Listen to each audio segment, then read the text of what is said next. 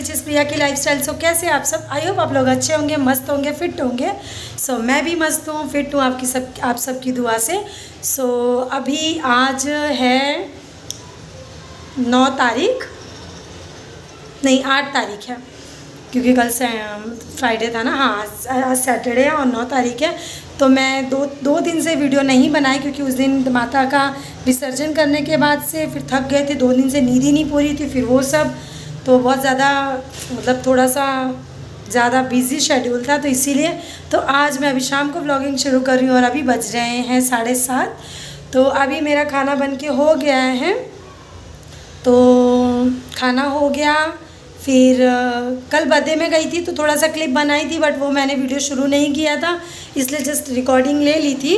तो वो आपके साथ थोड़ा सा क्लिप शेयर कर दूँ, क्योंकि धैर्य रहता है तो मुझे भी अच्छा लगता है कि उसकी सारी छोटी छोटी चीज़ें मैं शेयर करूँ आप लोगों के साथ, ताकि वो हमेशा के लिए मेरे लिए भी मेमोरेबल हो जाए इसीलिए। तो इसलिए मैंने थोड़ा सा क्लिप ले लिया था, वैसे तो व्लॉगिंग नहीं की थी तो आज मैंने सोचा चलो व्लॉगिंग शुरू कर देती हूँ।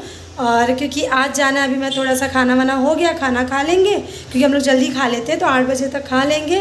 फिर आठ बजे निकलेंगे, मम्मी के बिल्डिंग के नीचे रामलीला होता है तो उसका भी अलग से यूट्यूब पे है लिंक तो आप लोग अगर बोलेंगे तो मैं वो शेयर कर दूँगी।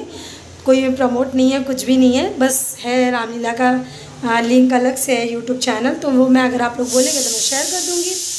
तो इसलिए मैं वो भी दिखा दूँगी आपके साथ कि कैसे होता है, क्या होता है, क्योंकि बहुत कम होता है।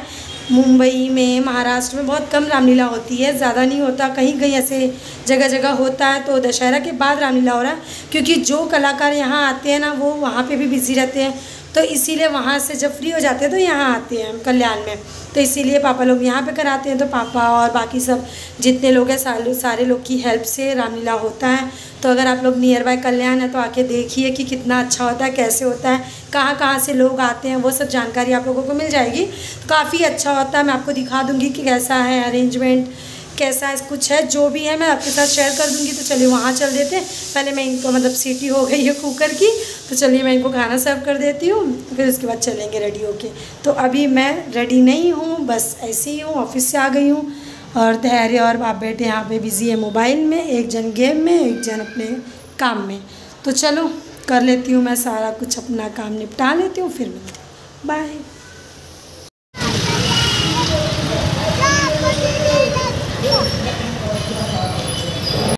नारायण को याद करो हमारे साथ खड़े होकर नारायण का भजन करो। वो अवश्य हमारी और सबकी सुख अवश्य लेंगे। जय जय सूर्यनायक जय सुखदायक प्रतिपाल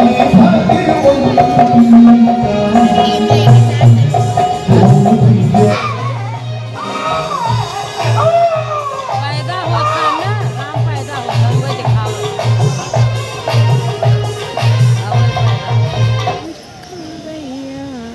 अश्विनी पांडे जी?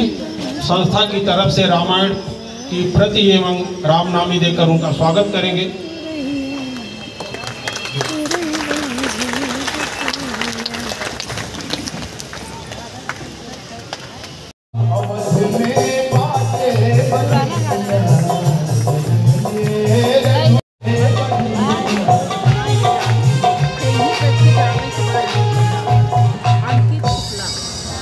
पहले। भी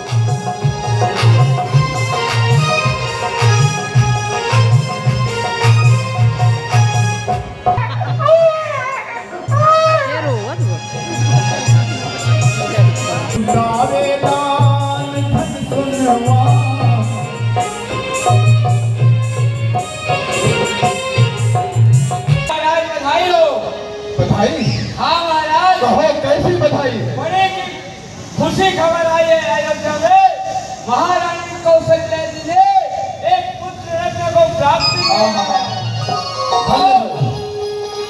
और लक्ष्मण बना है का बन गया ना बन एक पुत्र रत्न की प्राप्ति हुई है उनको भी। और तीसरी बड़ी खुशखबरी है। महारानी प्राप्ति हुई है महाराज। चार पुत्र हुए हैं अयोध्या में धन्य है धन्य है गुरुदेव। मंगल लेकर के बिल्कुल। अपनी कामना बताओ। हमारा हृदय प्रफुल्लित है। कहो क्या चाहिए? महाराज जी सोहर मंगल। और ये देखिए हम बैठ बा खुशी वाली बात बा हम अध्यक्ष जी से निवेदन करब ग्यारह सौ से कम ले बनाई हाँ साल में एक राय बोली लो में कोनो बात नहीं होनी चाहिए। अरे झुक झुक जिया तो ललना अरे भवनवा के भाग जागल हो। ललना लाल होई है। फुलवा के दीपक मनवा में आज जागल हो। ललना लाल होई है। फुलवा के दीपक भाई पूरा गाय ना ये अरे दूसरा में कौन सा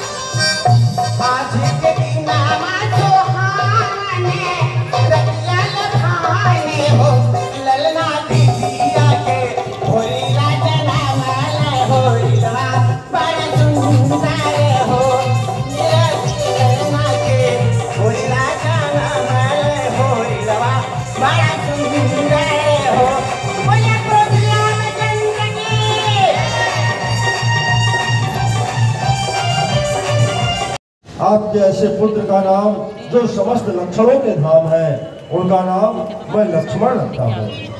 लक्ष्मण कल्याण।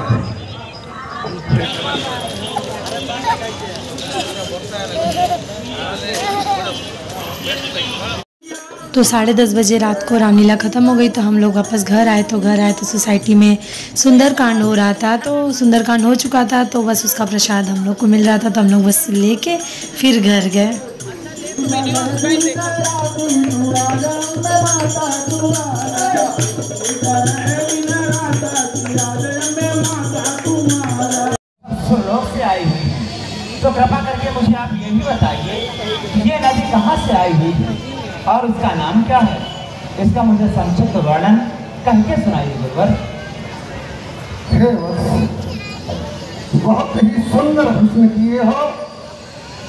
सावधान होकर सुनिए।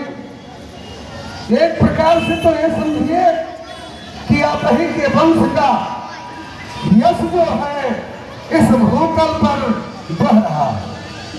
अति सुंदर ये आपके वंश से ही संबंधित है। एक समय की बात है, राजा सगर अश्वमेध यज्ञ करने के लिए एक अश्व अनेक रक्षकों से रक्षित कर भेजा उस अश्व को देवराज इंद्र से देखा नहीं गया चुरा कर पाताल में कपिल मुनि आश्रम में बाँध दिए। अश्व के न मिलने पर श्री राम यज्ञ अपूर्ण रखती है। इसलिए राजा सगर की आज्ञा से साठ हज़ार बालक उनके अश्व के खोज में यहाँ पे भगवान राम जाते हैं फूलों के बगीचे में फूल लेने। तो उन्हें मतलब उनको वहाँ पे पहली बार माता सीता दिख जाती है। तो पहली बार यहाँ पे सीता जी को देखे रहते हैं और वहीं पे मतलब लोग पहली बार एक दूसरे को देखते हैं तो वहाँ पे स्वयंवर उसके बाद होता है तो वो सीन यहाँ पे दिखाई जा रही है। लड़की। लक्ष्मण कुमार, वैसे तो हमारा जीवन में आज तक हमने कभी पराई स्त्री को नहीं देखा।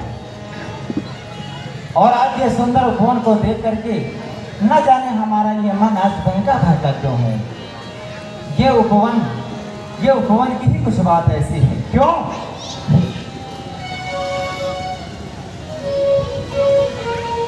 कि उपवन? कि वाटिका में आज मिले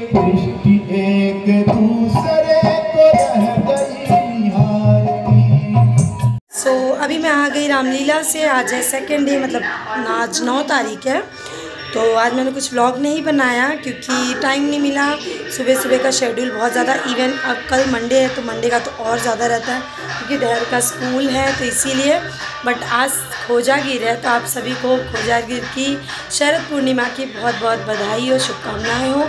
सो हम लोग सोसाइटी में मना रहे हैं तो अभी रामलीला से आ गए। डहर को सुलाने जा रही थी अचानक से अनाउंसमेंट हुआ कि यहाँ सेलिब्रेट कर रहे हैं। तो नीचे बुलाया गया है तो चलिए मैं भी आप लोगों को नीचे चल के चलती हूँ कि कैसे किए, क्या किए। तो चलिए नीचे मिलते हैं डायरेक्टली क्योंकि अचानक से मतलब अब ऑलमोस्ट धैर्य को मैंने सुला दिया था बट वो अनाउंसमेंट लगा तो धैर्य भी उड़ गया। आवाज़ बहुत ज़्यादा है। तो चलो नीचे चलते फिर बाद में बता दूँगी मैं।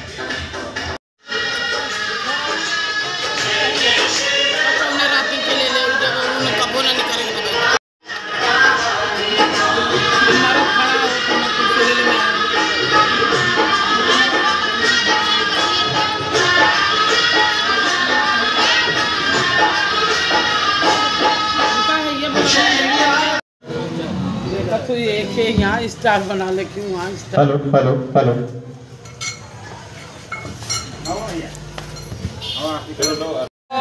की जय। बोल लक्ष्मी मात की आरती